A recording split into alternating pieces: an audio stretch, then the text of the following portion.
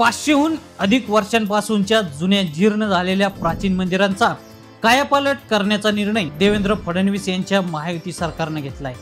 त्यानुसार राज्यातील नऊ पैकी तीन मंदिरांच्या जीर्णोद्धारासाठी एम एस आर डी सीनं एकाहत्तर कोटी रुपयांच्या पाच निविदा काढल्या आहेत. या निविदांना मान्यता मिळाल्यानंतर या मंदिरांच्या जीर्णोद्धाराचं काम सुरू होणार आहे. यामध्ये पुणे जिल्ह्यातील कार्ला येथील एकविरा देवी बीडमधील पुरुषोत्तमपुरी तसेच कोल्हापूर जिल्ह्यातील कोपेश्वर मंदिराच्या कामांचा समावेश आहे. त्या निर्णयाची अंमलबजावणी करण्याची जबाबदारी एम एस आर डी सीकडे सोपवण्यात आली आहे.